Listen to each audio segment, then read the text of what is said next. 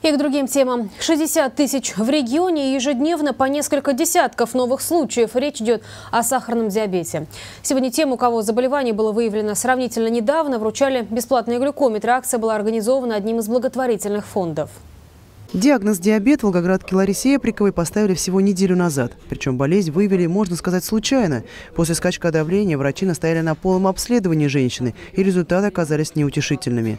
Для контроля сахара в крови Ларисе необходимо было купить глюкометр, однако скромный бюджет не позволяет таких трат. Стоимость прибора доходит до нескольких тысяч рублей. Выписали лекарства,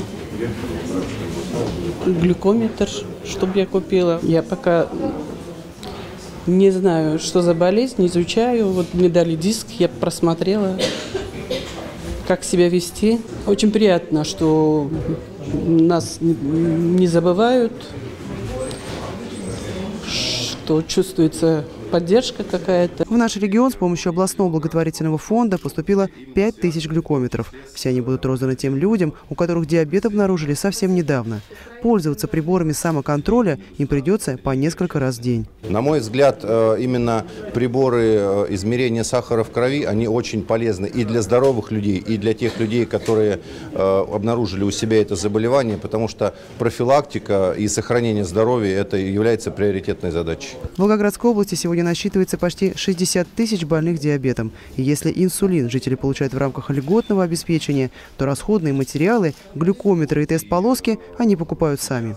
Чтобы заболевание не прогрессировало, за сахаром нужен постоянный контроль, говорят медики. Поэтому всегда нужно иметь под рукой такой прибор. Денег всегда на вот эту часть их достаточно мало. Поэтому, конечно же, это большая подмога глюкометры. Конечно же, это большая подмога для пациентов. Это поможет сэкономить финансовые средства бюджета области и федерального бюджета финансовые средства для того, чтобы обеспечить еще более полно пациентов, больных сахарным диабетом, именно лекарственными средствами. Сейчас идут переговоры еще с несколькими производителями глюкометров, чтобы в качестве спонсорской помощи вручить их волгоградцам.